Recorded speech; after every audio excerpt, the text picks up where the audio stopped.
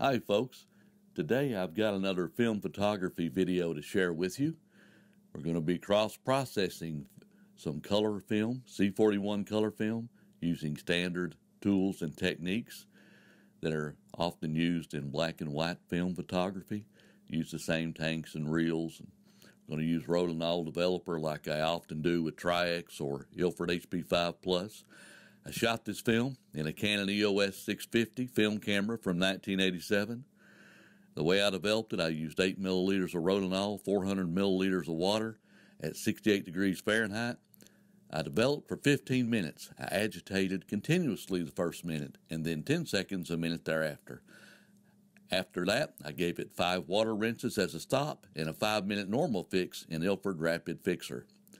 Negatives were scanned on an Epson V550 at 24 DPI, 24 bit color, no sharpening or other uh, features were selected, just a standard scan. And I scanned them in color because the negatives have a bit of a color tint. In this first one, you can see the magenta tint. Now, when I click the black and white button in Lightroom, of course, that turns it into a nice black and white image. I'm zooming in here where you can see the grain on the sky. And perhaps you would want to compare that to the grain in Tri-X or Ilford. I personally think the grain is uh, comparable in some ways to those. It has some little tiny black spots. If you zoom way in, you can see those, but it, it works good for me. And here you can see the how it held the detail in the sky. I would think on this particular picture, the camera probably uh, exposed more for the sky than it did the shadows. And uh, but I still think that's a good usable black and white image.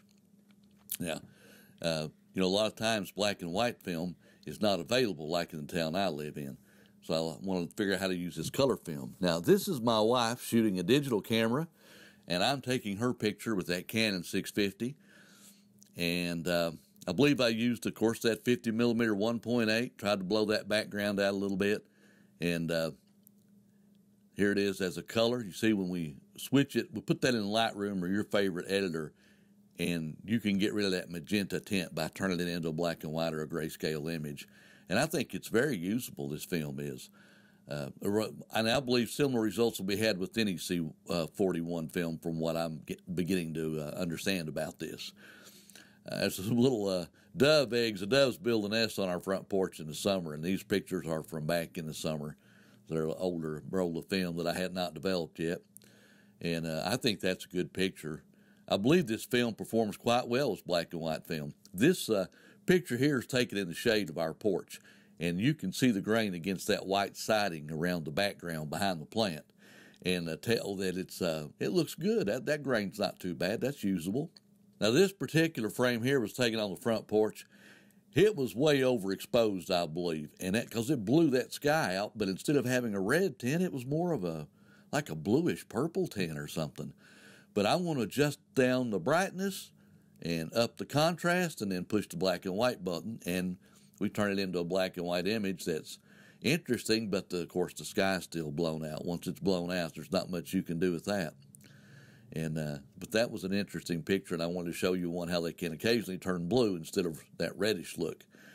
Now, this picture is an old standard I often use in many cameras, whether, whether they're digital or film. I like to shoot this old light fixture in my house. I can see how the light drops off, how the camera exposes for it, if I can see the detail in that globe, how the shadows roll, you know, the light rolls into the shadows, uh, the grain or the noise in a picture and that's why I included that one. It's something I can compare to other films, and it, this film compares quite well. So if I had to use uh, black uh, color film, and I wanted to shoot black and white images, I'd be happy to do it. Of course, if I really loved the pictures, wanted them in color, I'd send it off and get it done. But you can develop your color film as black and whites this way with this process for less than 20 cents a roll of film. So if you can't find black and white film in your area and you're you need you're out and you don't have time to mail order some, you can pick some color film up, use this process, and uh, develop them as black and white pictures for under 20 cents a roll thereabout, and still have some good usable images. And I, I think that's uh, something that can be very helpful to those of us in rural areas where we don't have a store that sells a wide variety of film. And uh, there again, I've uh, reposted uh, the process I used to develop this film. Uh, in case you didn't get it the first time and you want to write that down or take a picture or something of that so you can try it yourself, that information's there. And uh, but uh, yeah, if you like developing film and you like black and white, I highly recommend you give this a try. It's not an expensive thing to do. It's a lot of fun. Just get you a camera, get out there and shoot some pictures, shoot you a test roll, you know, and uh, see what you get.